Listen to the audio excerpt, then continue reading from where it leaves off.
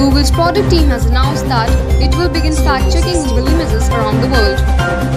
The decision was taken to ensure people make informed judgments about what they see on the web. With fast-paced technology on the rise, it's possible to fake or misuse images, misleading people posing a great threat. The announcement states how visuals are an incredible way to learn what's going on in the world, but the power Now when people search on Google Images, they will see a fact check label under the thumbnail image results.